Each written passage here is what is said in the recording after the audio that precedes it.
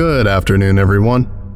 My name is Dr. Millar, and the SCP we're going to be looking at today is SCP 84. Object Class Euclid.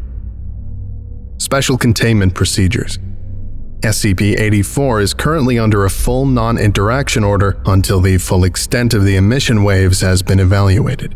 For detailed documentation on general FNI orders, see Document XRG 1182.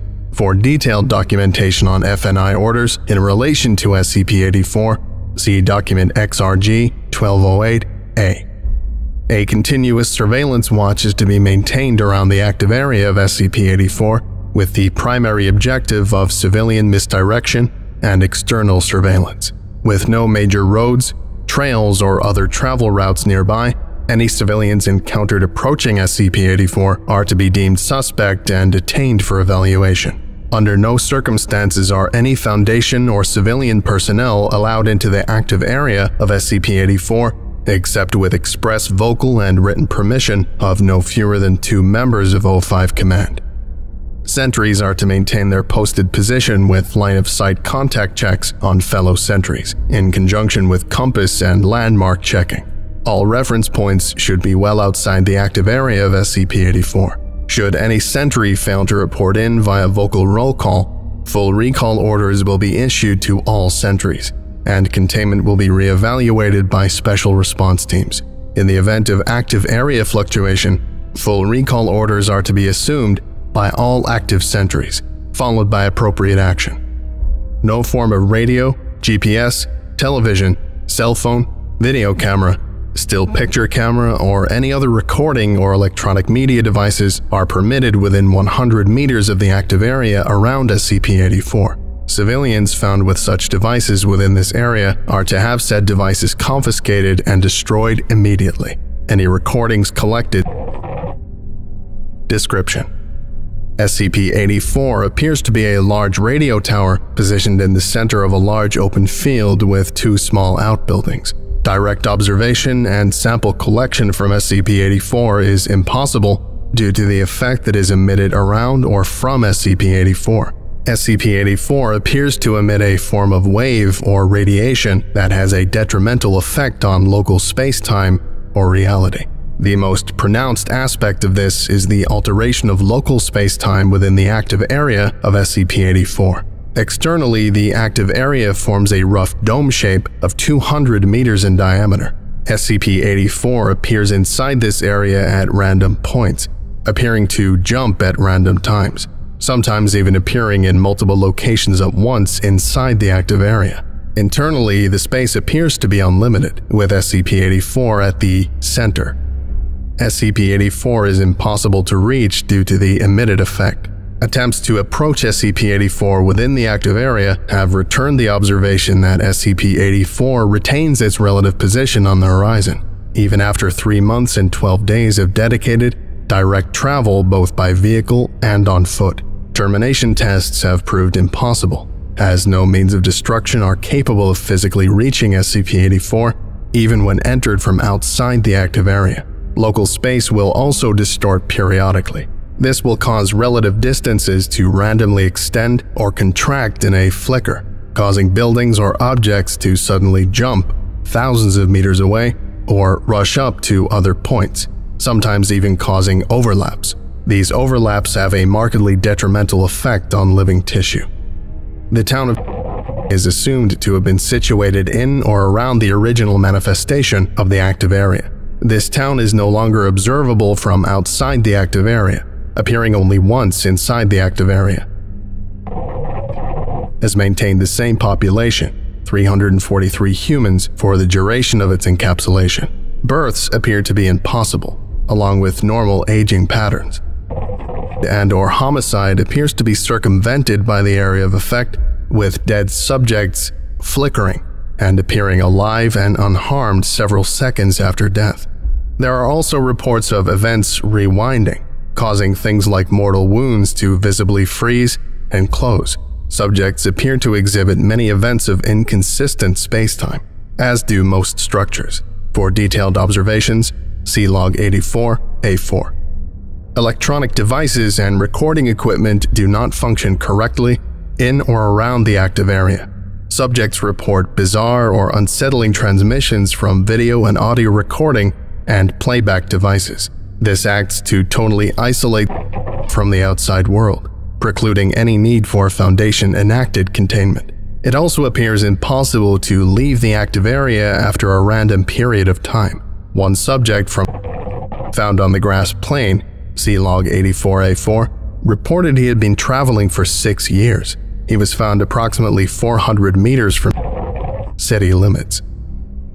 Log 84A4 Record of observed anomalous events relating to SCP 84. Detailed observation made of the grass plain, making up the majority of the active area. The plain appears to be made of one 10 meter by 10 meter section of grass repeated endlessly to make up the plain. Sections appear to be randomly rotated as they are formed, causing sections of grass and small ground variations to line up incorrectly. Few non-human organisms appear to exist within the active area. Those outside the active area avoid it and appear to vanish shortly after entering. Animals observed inside the active area appear normal but behave strangely. Shuddering movements, sudden shivering, repetitive loops, and other abnormal actions appear to indicate these may not be actual animals. Animals appear to flicker and vanish after three to four hours. Vocal communication is difficult within the active area. Vocal communication appears normal within 5 meters of the speaking subject, with reports of a slightly muffled quality reported commonly. Outside of 5 meters, subjects appear to be speaking from a great distance with a great deal of echoing. Reports of speech being heard several seconds after the subject has stopped speaking, and speech occurring with no subject speaking are also not uncommon. Detailed observation of the radio tower is impossible due to the inability to physically reach it, and the effect of the broadcast on most observational equipment. Basic telescope or binocular systems show the tower to be hazy and static fogged, while more advanced equipment is subject to the anomalous broadcast effect. Weather patterns, as well as basic day-night cycles, appear to be totally random. Overhead sky will randomly cycle between day, night, clear, and other weather patterns. Relative sun and cloud position appear random as well, with frequent flickering and blurring between different states. Physical alteration or damage to anything within the active area is impossible. Actions such as digging, demolition, and new constructions will suddenly blur and be reset to their previous unaltered state at random points. Subjects inside a reset structure, such as inside a hole, will become instantly trapped and fused. Humans in the active area around SCP-84 exhibit some of the more striking and easily observed reality distortion effects. These include sudden blurring of limbs or head, appearing to suddenly gyrate at violently high speeds for several seconds before ending. Subjects experience no pain and are often unaware of this phenomenon. Looping, typically manifested as the repeating of 8 to 20 seconds of time. Subjects will go through an action, for example, exiting a doorway, picking up an article of clothing, then suddenly freeze and flicker, then return to the original starting position of the loop, and repeat the action even if this involves a sudden teleportation of significant distance. Rarely subjects appear to become caught in a permanent loop. Observation and interrogation of subjects show that basic human needs, such as food, water, and sleep, are no longer required after prolonged exposure to the active area. Some subjects report not having eaten or drank for, they believe, five years. One elderly subject also reports having made 2,110 unsuccessful attempts.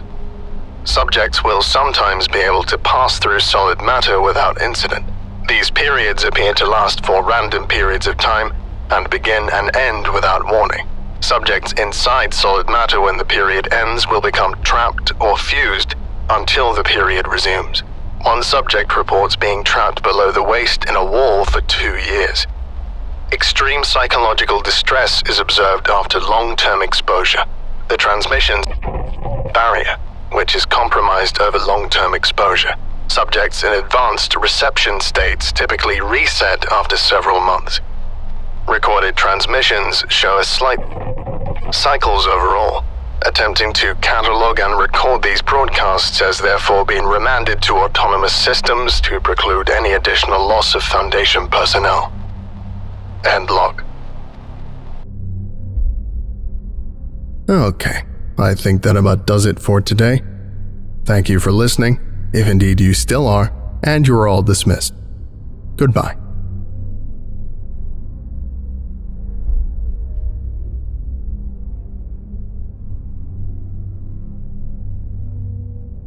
I would like to give a special thank you to Big Sip, Zargaron, Old Crop Guy, James Saba, Braided Peach, Fire of Prime, Dr. Wolf 13, Cupster, Worthy Fire, Zazapan, Irish Wristwatch, Signar, Alatreon, your local Foundation agent, and Lost Boy.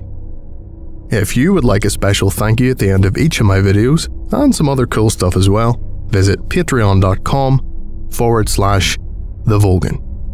Thank you.